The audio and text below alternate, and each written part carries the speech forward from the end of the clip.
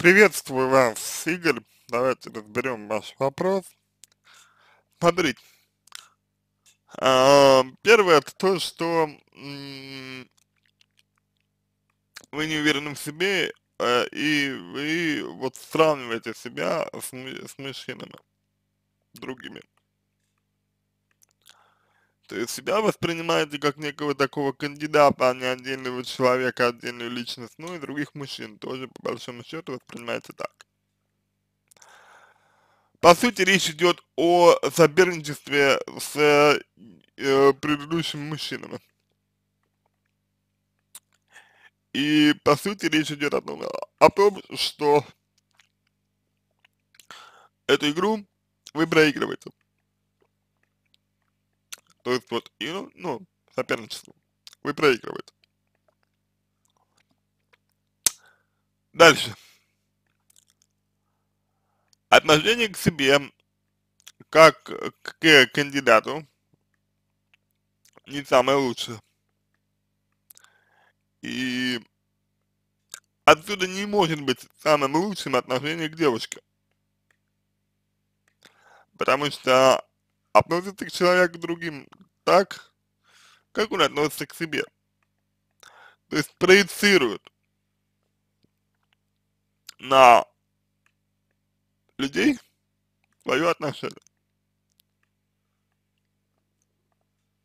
Вот. Из этого возникает вопрос, а любите ли вы девушку? Ну да, вы к ней привязаны, да, вы хотите с ней быть, это понятно, но любите ли, ли вы ее? Дальше. Идет акцент на секс. То есть секс для вас очень важен.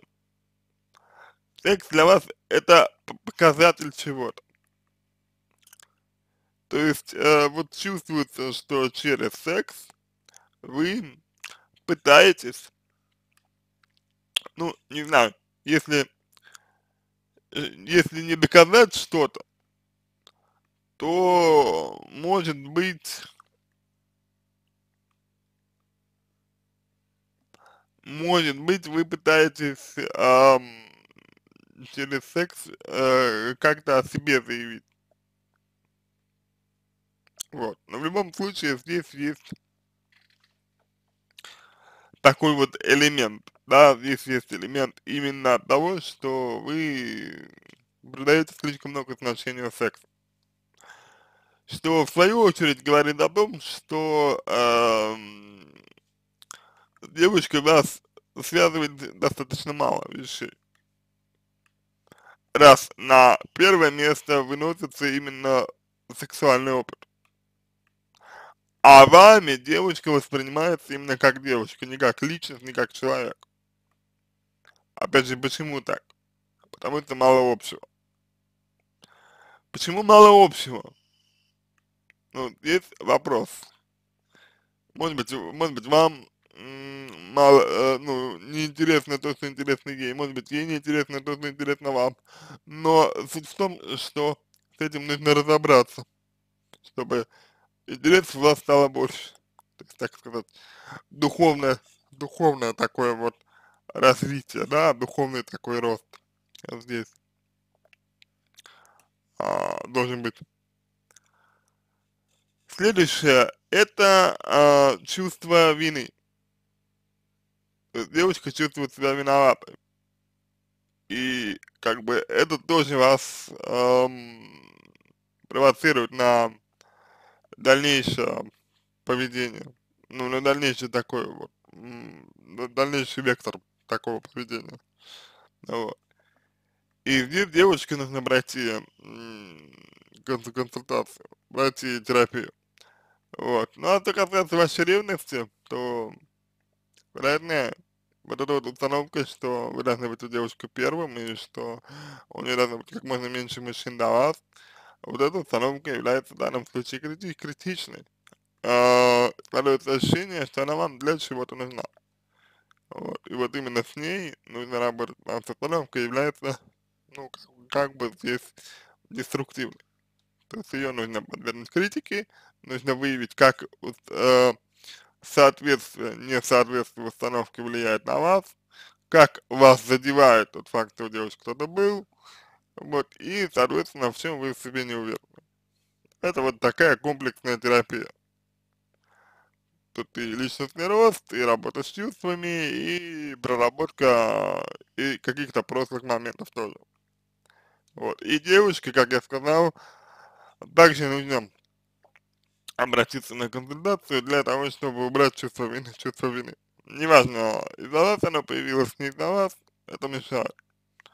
Вот, в принципе, то, что я могу вам сказать, то, что я могу вам ответить. Далее, навязчивые мысли. Навязчивые мысли.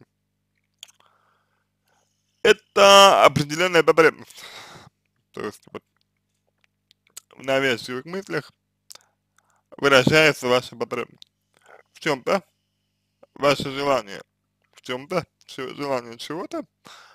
Вот, э, ну, в общем-то, так вот достаточно эм, искаженно выражено в виде навязчивых мыслей. Может быть, это э, идея о том, что вы недостойны отношений, что вы не способны понравиться девушке. Может быть, это что-то еще. Но здесь есть, э, у навязчивых мыслей есть основания. И с ними тоже нужно работать, что они из себя представляют. Эти, эти самые навязчивые мысли. Вот. Потому что пока вы не увидите, что за ними находится, чего вы хотите, что вам нужно, что вас волнует, они будут появляться, что, в общем-то, нормально. Вот. То есть механизм навязчивости это то, чего мы хотим. Но то, чего мы хотим, не всегда для нас полезно, не всегда для нас хорошо, не всегда для нас э, конструктивно.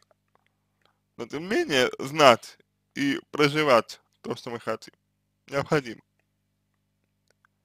Осознавать то, что мы хотим, необходимо. Вот мне кажется, что э, вы считаете себя недостойным отношений. Вообще. И мне кажется, что э, вы э, пытаетесь в том числе доказать свою достойность. Ну, соответственно, навязчивые мысли могут быть отсюда. А могут быть от чего-то другого. Например, навязчивые мысли могут быть э, следствием вашего акцента на сексе, как результата негативного опыта, допустим, измен со стороны родителей. И такое вот подсознательное желание повторить этот опыт измен, чтобы опять же доказать себе, что никому верить нельзя, что вы какой-то не такой и прочее, прочее. Вот. Кто знает. На этом все. Надеюсь, что помог вам. Желаю всего самого доброго, удачи. А, и надеюсь, что ситуация разрешится.